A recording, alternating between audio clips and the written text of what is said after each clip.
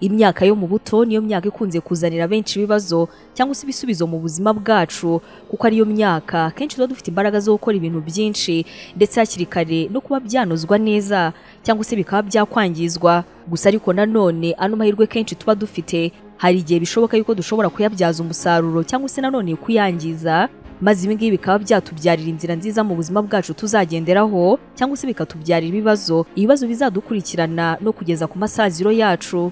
Uyu munsi muri kino kiganiro cyacu hari ibitabo abahanga bakunze kubwira abantu bari hagati y'imyaka makumyabiri ndetse na mirongo itatu n'itanu kuko baba bagerageza gusoma.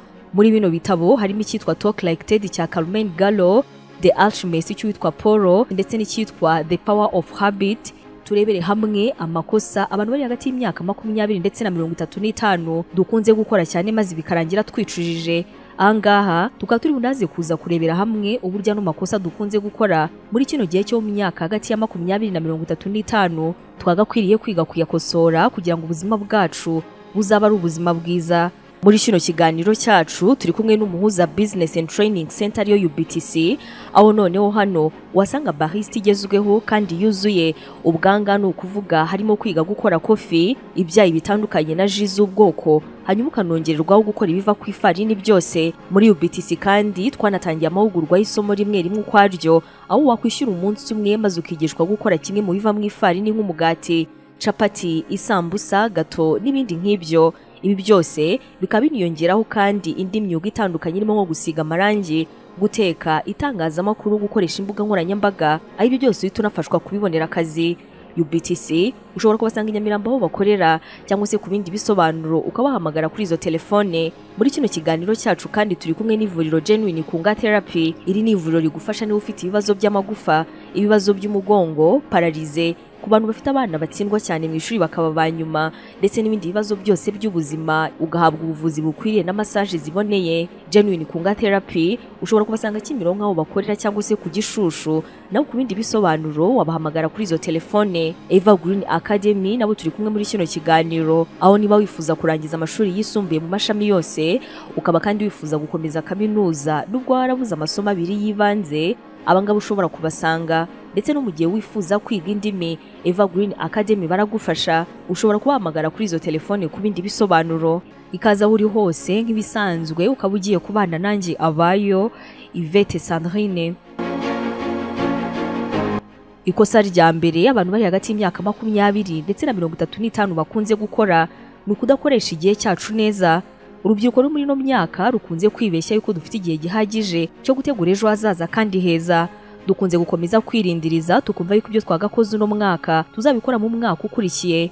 Ntabwo tubasha kwibuka yuko buri mwaka uzana n'impinduka zawo. Rimwe na rimwe tukaba tunashobora guhindura ibintu byose bigahinduka uko tutabitekerezaga. Niba uno munsi ufite imyaka makumyabiri umwaka utaha uzaba ufite imyaka makumyabiri n'umwe umwaka uwukurikira uzaba ufite imyaka makumyabiri n'ibiri niba ufite imyaka mirongo itatu umwaka utaha uzaba ufite imyaka mirongo itatu n'umwe imyaka yawe izakomeza kugenda ikura kandi uko izakomeza kugenda ikura uzaba urimo kugana mu myaka y'ubukure uko dukomeza kugenda dukura tutarahitamo nk'umwuga tuzakurikira. Ngo ndetse tube twanatangira no kuwimenyereza ibi ngibi ni ibintu bizatugora cyane gufata umwanzuro mu myaka izaba imaze kuba myinshi kuko kino gihe tuzaba dufite n'ibindi tugomba kwitaho. Iki gihe tukiri muri ino myaka tugomba kumenya ndetse no kuzirikana igihe cyagenewe buri kintu cyose kandi tukanagerageza kumenya no kucyubahiriza.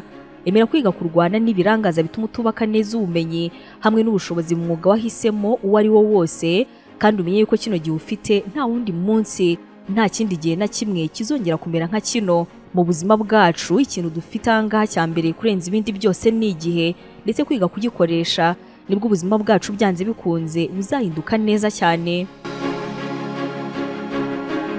Icya kabiri mu makosa abantu bari hagati y'ino myaka bakunze gukora ni uko utakira kunengwa. Mu buzima bwawe bwose abantu bazakunenga bazakugaya bazaguseka ku byo utakoze neza bazagaye ibyemezo ufata bazagukosora mu makosa ukora. Ndetse niyo mpamvu muri ino myaka ugomba kumva yuko kugawa mu byo udakora neza ari ikintu cyiza mu buzima kubera ko kigufasha gukosora ibitanoze maze bikakongerera amahirwe yo kubyigiraho no kuba wabigiriramo umugisha. Ibi ngibi rero ukaba ugomba nanone no kubijyanisha no kumenya gutandukanya umuntu ukunenga. Kimwe n'umuntu ushaka kuguca intege ngo akwereke yuko utakoze neza. Niba rero utaramenya yuko kugawa mu gihe wakoze ibintu nabi ibi ngibi bizatuma ugerageza kwiga ahubwo gukora ibindi neza. Iri ngiri naryo ni ikosa urimo gukora kuko uzakomeza kugenda wishyira mu byaha ndetse no mu byago byinshi bishobora kuzakwicira ejo hazaza. Kandi nyamara ukiri muto wari ufite ubushobozi bwo kuba wabikosora. Emera yuko abantu bakugaya wemere yuko abantu bakubwira utakoze neza ariko kandi unige kubatandukanya n'abantu bashaka kugusebya kuko nabo muri kino gihe rwose uzahura nabo kandi batari bake. Irya gatatu mu makosa abantu bari muri ino myaka bakunze gukora ni uko utamenya abantu ba nyabo bo kuganira nabo. Kumenya kuganira n'abantu bakuru abantu bari mu myaka mitoya y'uru rubyiruko dukunze kumva ari ibintu biteye ubute twibaza kenshi. Tuti niba iki se runaka yavuga? Narangiza nkamwigiraho. Ahangaha rero kumva yuko uriya muntu ngo akuze nta kintu na kimwe mwamuganira ni ukwishuka ndetse no kutamenya umuntu wa nyawe mwakabaye muganira uyu munsi niba uri muri ino myaka gerageza kwiga gushaka inshuti nyinshi z'abantu bakuru maze muganire. Unagerageze kwiga kubabaza ibibazo ku bintu udasobanukiwe cyangwa se ku nama bakugira. Aba bantu bakuru bazagufasha gufata icyerekezo nyacyo cy'ubuzima hakiri kare kuko bano baba banafite byinshi baciyemo wakwigiraho. Urimo guharura inzira z'ubuzima bwawe. Haba hari amakosa bakoze bakavuga bati uwansubiza inyuma hari ibintu byinshi nahindura hari byinshi ntakongera rwose no gutekereza gukora. Rimwe na rimwe uyu muntu mukuru nimuganira uri nko mu bintu wabona yuko ari amakosa ashobora kubwira uburyo bizarangira kandi ko ari ibintu bitazarangira neza na busa. Kuko wenda wasanga ubwo buzima urimo kunyuramo nonaha n'imyanzuro itari myiza urimo gufata bisa neza ijana ku ijana. N'ibyo nawe yakoze kandi ntibirangire neza. Nudahaguruka rero ngo wegere abantu bafite ubwenge kandi bakuru ngo wegere abantu bafite ibyo bagezeho ngo baguhe ibitekerezo. Nta n'umwe muri aba ngaba uzagusanga aho wigunze wenyine ngo akubumburire umunwa akubarishe ibibazo by'amatsiko ufite kugira ngo ubashe kugira ibyo usobanukirwa. Niba uri muri ino myaka ukwiriye kwiga gusabana ndetse no guhuza urugwiro kubw'impamvu zazaza heza hawe nawe kandi aha ngaha birumvikana. Gerageza gutekereza wenda niba uyu munsi mu myaka ishize wararangije amashuri yisumbuye wagusubiza inyuma hari ibyo wakosora utigeze ukora neza. Ibi ngibi rero bikaba binari mu nama nawe ushobora kugira barya bakiri batoya uruta. Nawe rero abakuruta ukeneye kumva zino nama zabo no kubatega amatwi ukanababaza amakosa bakoze mu buzima bwabo. Baramutse babonye amahirwe yo gusubira inyuma bashobora kuba bakosora. Kutamenya yuko umuntu mukuru ari imari ikomeye ngo nimurangiza muganire ariya ni amakosa akomeye cyane dukunze gukora. Ikosa rya kane abantu muri ino myaka bakunze gukora cyane ni ukutirwanirira mu gihe cy'amahirwe ngo dufatirane hakiri kare. Abantu muri ino myaka bumva yuko ibintu byose byiza bikwiriye kubasanga aho bari. Ibingibi kenshi bamwe bakabiterwa n'uko bamwe bafitwe mu nshingano n'ababyeyi babo. Abandi bagifitiwe impuhwe n'igikundiro cy'ubuto abandi kubera ubuto no kuba batarahura n'ibizazane by'ubuzima. Ngo bibashe kubakanguramo ubwenge no kubura ababaganiriza kwa zaza ngo nibarangiza babashushanyirize neza uko bizaba bimeze. Ibi kenshi bikaba bikunze kudutera kwirara no kumva yuko ibintu bidakomeye. Muri ino myaka nyamara ugomba gutekereza yuko hari igihe kizagera maze ugakura. Ba bantu ubona yuko bagufitiye imbabazi rwose ziriya zigashira. Ugomba gutangira kwiga kwikemurira ibibazo utabanje gutegereza yuko hari umuntu uzabigufashamo. Reka tuvuge yuko wenda ufite nk'ahantu umaze igihe urimo kwimenyereza akazi uri muri stage birashoboka yuko wenda wicaye aho ngaho utegereje yuko bosi cyangwa se umuyobozi w'aho hantu nyuma y'uko ukoze neza stage azahita afata iya mbere akaza kukubwira ngo turabona ushoboye akazi reka noneho tuguhe kontara y'akazi tunagushyire ku mushahara nk'abandi bakozi. Ibi ngibi bishobora gushoboka ariko kandi hari igihe byaza bitinze. Cyangwa se nanone ntibinakunde. Birashoboka yuko rero hano ushobora guhaguruka warangiza ukagenda ukegera bosi wawe ukamwereka yuko ukeneye yuko agushyira ku mushahara kuko umaze kumenyera akazi ukabivuga utikanyije ariko nanone utanisuzuguye. Ushobora no kudahita uhera kwa bosi ukegera nk'umuntu wizeye ku kazi warangiza ukamubaza amakuru y'aho hantu hanyuma akakubwira nawe ugatangira kwigeragereza ugomba gutangira kwirwanirira kubera yuko umuntu wa mbere muba agomba guhangayikishwa n'iterambere ryawe. Ndetse n'ahazaza hawe buriya ni wowe ubwawe. Icya gatanu mu makosa dukunze gukora muri ino myaka ni ukudashaka intego maze tugahora tuvuga ngo ejo ejo ni bwo nzabikora. Kumenya impamvu ukora ibintu runaka niba uri mu myaka ya makumyabiri na mirongo itatu n'itanu ukaba nta mwuga ugira. Iri ngiri ni imwe mu makosa benshi dukunze gukora. Ariko uko byamera kose kino gihe nanone ntarirarenga ushobora rwose gutangira ndetse no kugerageza icyo wakora. Muri ino myaka abantu bayirimo cyane cyane ku mugabane wa Afurika dukunze kuba nta cyerekezo cy'ubuzima dukunze kuba dufite. Ushobora kuba ushaka kuzaba umuganga w'inzobere mu kuvura amaso ariko kugeza ubu ngubu ukaba nta gitekerezo urabona cy'ukuntu uzabigeraho. Ushobora kuba uhora ubyuka uvuga uti ndabizi yuko umunsi umwe nzaba umukire ariko kandi wareba ibintu uhoramo ugasanga ni telefone gusa. Uri ku mbuga nkoranyambaga urimo urapositinga unakanda amafoto y'abandi nta kintu na kimwe urimo gukora ku buryo uzabamo umukire. Niba rero ufite muri ino myaka ukaba uhangayikishijwe n'ukuntu uzaba umuganga ukuntu uzaba umwubatsi ukomeye n'ibindi ni byiza cyane kureba ukuntu watangira gukora ibihuye cyangwa se bifitanye isano n'uwo mwuga wawe. Uku guhangayika kwawe bizatuma ushishikara cyane kandi bizarangira ugeze kuri cya kintu wifuza. Abantu bose ufatiraho icyitegererezo mu buzima bwabo nawe bigeze kuba muri bino bihe byo guhangayika bashakisha uko bazabasha kugera ku nzozi zabo. Ibi rero nawe ntibikaguca intege ahubwo ukomeza uri muri zino nzira nziza. Icya gatandatu mu makosa dukunze gukora muri ino myaka ni ukugendera mu bigare by'abantu.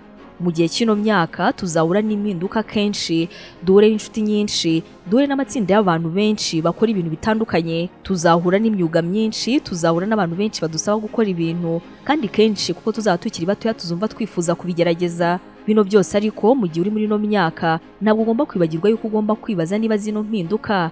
Na bino bintu birimo kukubaho bitari guterwa na bano bantu murimo kugendana. Nyine niba atari ikigare iga kandi wongere wite cyane ku bintu ubwawe wifuza. Ibi ngibi kuko akenshi niba ari ikigare ni ibintu bizakugora. Niba uri umuntu ukunze kugendera mu kigare ugakora ibyo ba runaka bifuza gukora ngo nuko uri inshuti yabo cyangwa se nanone ngo nuko mukunze kuba muri kumwe urimo kwirengagiza cyane ukaba urimo no kwibagirwa. Bikosore ubu ngubu utazagera mu gihe utazaba ukibashije guhindura ubuzima hanyuma ukareba inyuma ugatangira no kwicuza. Ikigare muri ino myaka ni ibintu byoroshye cyane kukigenderamo ariko kandi ni n'ibintu byoroshye cyane kuba byazakwicira ejo hazaza. Iki kigare urimo izo nshuti mugendana n'abo bantu bose muri kumwe tekereza kabiri niba hari ikintu na kimwe baba bakumariye ku buzima bwawe. Nusanga gihari rwose ukomeze ariko kandi nusanga nta gihari. Ni byiza kubihagarika. Icya karindwi mu makosa dukunze gukora muri kino gihe cy'ino myaka ni uguhora twumva yuko ubuzima bworoshye cyangwa se nanone kumva yuko ubuzima bukomeye cyane. Abantu benshi bari muri ino myaka dukunze kumva yuko ubuzima bworoshye cyangwa se nanone rimwe na rimwe tukumva yuko ubuzima bukomeye cyane. Wenda duhereye ku kumva yuko bworoshye hari abakunze gutekereza yuko nitwumva yuko ubuzima bworoshye niturangiza kwiga tuzabona akazi kaduhemba amafaranga meza imibereho yacu ikaba myiza kurusha gusa iyo bigeze mu buzima bwo hanze dutungurwa no kubona ibitandukanye cyane n'ibyo twibwiraga tukiri ku ntebe y'ishuri. Kino gihe rero ni bwo dukwiriye kumva yuko ubuzima rimwe na rimwe bujya bugorana ndetse nubwo atari ukwica intege ukwiriye no kureba. Mu gihe ibyo wifuza gukora n'ibyo ushaka kugeraho niyo bitarimo kugenda neza n'ibitagenda gutyo ikindi kintu uzakora. Hanyuma aha ngaha kandi iyo udatekereje yuko ubuzima bworoshye cyane ushobora no gukora ikosa ryo gutekereza yuko ubuzima bukomeye cyane. Igihe cyose utekereje yuko ibintu byoroshye cyane n'igihe cyose utekereje yuko ibintu bikomeye cyane akenshi bikunze kurangira nta na kimwe ukoze. Niba ubuzima utangiye kubufata nk'ikintu gikomeye. Ibi ngibi bishobora kuzaba ari ibintu bigoye cyane kugerageza kuko n'ubundi mu mutwe wawe ndetse no mu bitekerezo wamaze kwiyumvisha yuko ubuzima ari ikintu gikomeye. Tangira gutekereza ndetse no kwibaza uti niba koko ntekereza ko ubuzima bukomeye kandi bugoye ni iki nakora kugira ngo ntibukomeze kumera gutya? Ubuzima ni ikintu kitoroshye nk'uko benshi dukunze kubitekereza. Ariko kandi ni n'ikintu kidakomeye nk'uko nanone dushobora kubitekereza ugomba kugerageza gushyira imbaraga mu byo wifuza gukora kandi ukareka gushyira umutima wawe cyane kuvuga yuko ubuzima bworoshye cyangwa se nanone kukuwushyira ku kuvuga yuko ubuzima bukomeye cyane bya bindi birengeje urugero. Ikosa rya munani mu makosa akomeye dukunze gukora ni ikosa ry'urukundo kandi nyamara rufite kinini cyane mu mibereho yacu urukundo rwo muri ino myaka kenshi rukunze kuzanira benshi umubabaro mwinshi no kwicuza bitagira ingano. Muri ino myaka abantu benshi bakunze gukundana maze ikosa rya mbere bakirunduriramo abo bakundanye nabo ariko runo rukundo igitangaje rukaba narwo rushobora gushira. Mu buryo bwihuse. Iyo umwe yakunze undi kubera ukuntu tuba tutarasobanukirwa neza icyo gukunda ari cyo tutaranamenya guhama ku mwanzuro w'urukundo tutazi neza icyo dukeneye mu rukundo. Abangaba dukundana nabo ni abantu dukunze gufata nk'imana zacu. Ntitunatekereze yuko umunsi umwe wazagera maze abangaba tugatandukana bakanakomeza ubuzima. Iyo bikaba byanarangira bashatse abandi bakundana nabo. Hari ubushakashatsi mu kinyamakuru Psychology Today bwerekanye yuko abantu mirongo inani na bane ku ijana abangaba barengeje imyaka mirongo itatu n'itanu bafite inkuru zo kubara zabayeho bakiri batoya cyane cyane mu myaka ya za makumyabiri zatumye batenguhwa aba ngaba barababazwa bikomeye cyane ndetse rimwe na rimwe bano banashaka kwiya ku buzima. Muri ino myaka ya za makumyabiri gukunda koko ni ibintu byiza dore ko abenshi iyo tunageze muri ino myaka twumva dushaka abantu dukundana nabo byihariye. Ariko rero ukwiriye kwiga hakiri kare ku rukundo ari kimwe mu bice bikomeye by'ubuzima. Umuntu wese akwiriye kwitondera. Kuko uyu muntu ushobora kumutera inda wa wundi mutaranabiteguye mushobora gushakana nyamara mudakundana bihagije byo kubana mutanafite ibizatuma murambana. Niho hantu gushaka kwihimura nanone kuwo mwakundanye mu gihe burimo kumubabaza bishobora gutuma wiyahura mu bindi na byo bizakwangiriza ubuzima. Mu myaka nk'iyi ngiyi ikintu cyitwa guhubuka kiba kiri hejuru cyane kurenza ikindi gihe. Ni byiza rero kwiga gutwara neza amarangamutima yawe kuko urukundo muri ino myaka rushobora kuba rwakwicira ubuzima.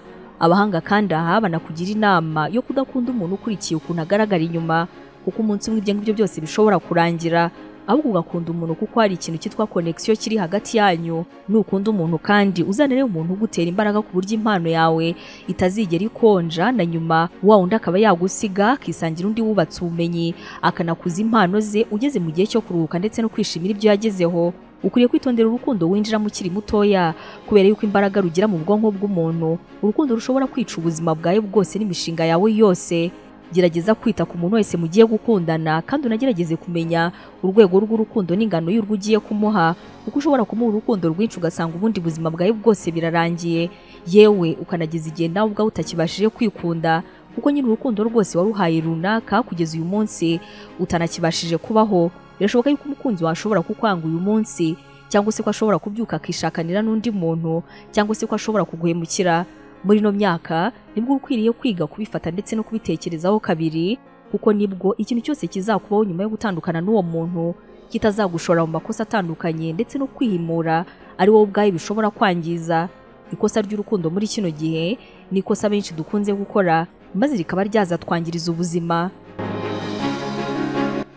Ikosa rya cyenda abantu bari muri ino myaka bakunze gukora ni ukumva yuko amakosa yacu ari naryo herezo ry'ubuzima bwacu. Nta muntu ujya ugira amahitamo meza buri gihe. Hari igihe uyu munsi nkosa ejo nkakora neza. Ibyo ngibyo ni ibisanzwe. Buri muntu wese hari aho yisanze yagize amahitamo atari meza. Ushobora kuba umaze nko kugerageza inshuro nyinshi mu bintu bitandukanye ariko kandi ugatsindwa.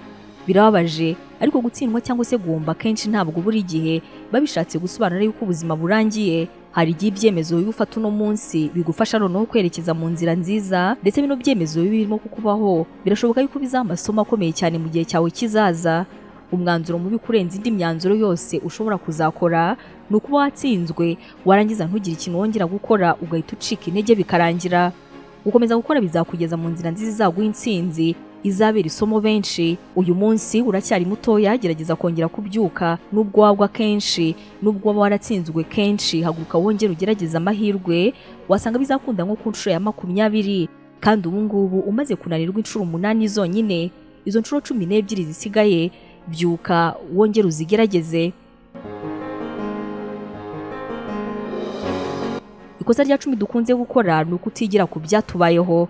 Abantu bari muri ino myaka uko baca mu bintu byinshi ni nako hari amahinduka menshi atuma hari ibibazo duhura na byo kandi biremereye. Benshi mu bantu bari muri ino myaka baba bashaka yuko ubuzima bwabo bugira icyerekezo ariko kenshi bigasaba guhaguruka tukiyemeza tukanitega ingorane zose dushobora guhurira na zo mu byo twiyemeje kugira ngo tuzabashe kugera ku byo twifuza. Muri ino myaka urimo rero ni cyo gihe cyiza cyo gufatiramo ibyemezo bikomeye ibyemezo bizayobora ubuzima bwawe. Uzava mu kazi kamwe ujya ahandi hari aho bazakwirukana hari aho uziyirukana hari aho uzabana neza n'abo mukorana hari aho muzabana nabi. Uzahura n'ibintu byinshi bitandukanye bimwe bikubabaze cyane ibindi bigushimishe cyane. Ibi ngibi byose ucamo ni byo bizagufasha gufata imyanzuro ikomeye. Mu byo usabwa rero harimo kwihangana kuko ari byo bizagufasha kumenya umurongo nyawo ukwiriye guha ubuzima bwawe. Kandi ikintu kikubayeho ntikigasige nta somo kiguhaye kuko haba hari impamvu cyakubayeho. Mu yandi magambo uko uzagenda unyura muri byinshi ni nako uzagenda ubona inzira nyinshi zo gucamo ukemura ibibazo uzahura na byo mu kindi gihe kizaza. Ikintu kikubayeho uyu munsi ntukakireke ngo kigende gutyo gusa. Ahubwo ibaze uti ni ikihe kintu kinsigiye? Ikosa rya cumi na rimwe dukunze gukora mu myaka yacu mikeya ni uko nta nzira ihamye yo kugera ku nzozi zacu ndetse no kudatekereza kenshi kuko mbayeho atari ko runaka agomba kubaho. Icyo buri muntu wese agomba kumenya cyane cyane abakibyiruka nuko nta nzira ihamye mu buzima yo kugera ku byo wifuza. Ibi ngibi ni ukuri kandi ntabwo kugeza uyu munsi umuti wabyo wo kuba byahinduka uraboneka.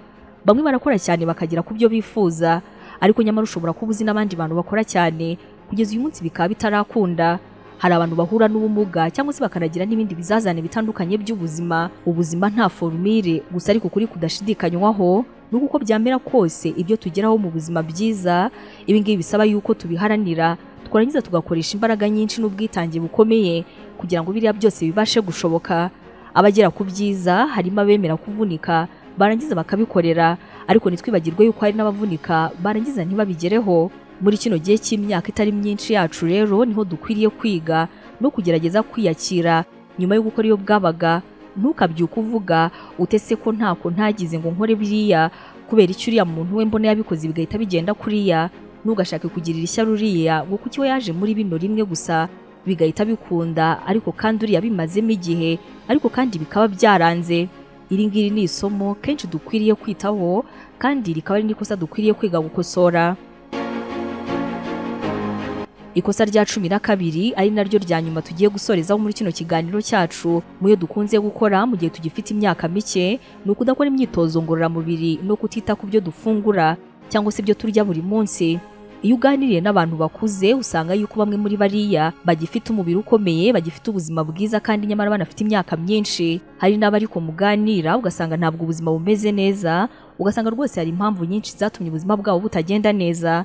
Nubwo impamvu z'uburwayi zishobora kuza kuba ari wo wese yewe n'uburwayi bukaba bwanaza ku muntu nyamara wagerageje kwiyitaho ariko ni byiza kugerageza mu gihe ugifite imyaka mike kuko byanze bikunze utagize izindi mpamvu zitunguranye mu gihe cyose umubiri wawe wawubatse neza ugakora imyitozo ngororamubiri ukagabanya inzoga ukagabanya ibiyobyabwenge kandi ukanagerageza kurya neza no mu gihe cy'ubusaza bwawe bamwe bakunze kuvuga yuko ari igihe umubiri wawe uzagushimira. Ibi ngibi gerageza kubikora kandi igisubizo byanze bikunze kizakubera cyiza. Twareberaga hamwe amakosa dukunze gukora hagati y'imyaka makumyabiri na mirongo itatu n'itanu maze tukazayicuza dushaje ndetse n'uko twagerageza kubihindura. Niba utekereza yuko hari ikindi kintu benshi dukunze gukora muri ino myaka maze bikazarangira cya kintu tukicujije ushobora guca mu bitekerezo warangiza ukakitwandikira. Wakoze cyane gufata n'umwanya wose warangiza ukabana natwe muri kino kiganiro turacyari kumwe no mu bindi bitandukanye. Nk'ibisanzwe wari kumwe nanjye abayo Yvette Sandrine.